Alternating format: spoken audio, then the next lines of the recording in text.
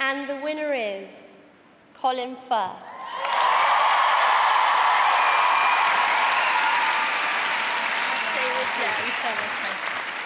Colin really wanted to be with us tonight, but right now he's filming key scenes through the night with Cameron Diaz on a new Coen Brothers movie. So he particularly asked and said he'd be incredibly honoured if the two young actresses who played his on screen daughters in The King's Speech could collect the award on his behalf. So we are thrilled to welcome Ramona Marquez and Freya Wilson.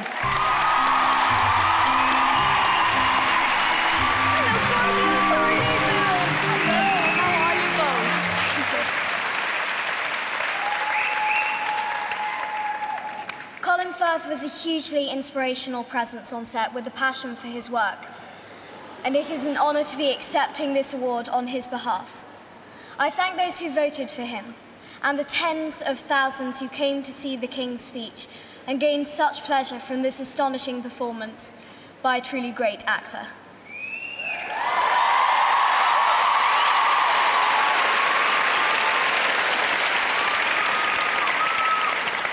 Uh, he was really good in the King's speech, um,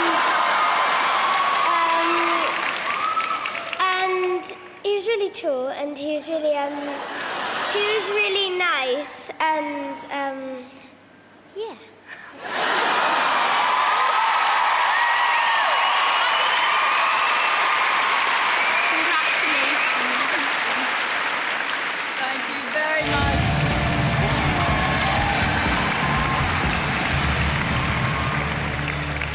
Congratulations to Colin Firth and a big thank you. They deserve an Oscar for that speech, don't they?